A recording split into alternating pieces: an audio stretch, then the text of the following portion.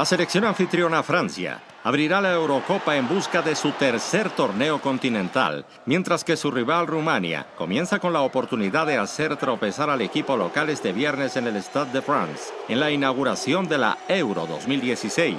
Por su parte, el conjunto francés confía en sus estrellas que brillan en las mejores ligas europeas para aspirar al campeonato, como el centrocampista de la Juventus, Paul Pogba,